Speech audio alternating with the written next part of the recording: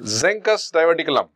Yes, it's a pulsion diverticulum and because of the incoordinated contraction between the thyropharynx and cricopharynx atonically contracted cricopharynx, the most common location is midline or when it enlarges becomes posterolateral onto the left and if the size is less than 2 centimeter, it is only treatment will be uh, I mean cricopharyngeal myotomy. If it is going to be more than 2 centimeter, the treatment is going to be cricopharyngeal myotomy with the excision of the sac. It is called Lahey Jackson.